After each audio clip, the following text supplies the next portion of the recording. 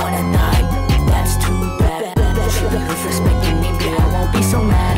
Choke her on my neck, bitch, I'm more bad. Don't look out for me.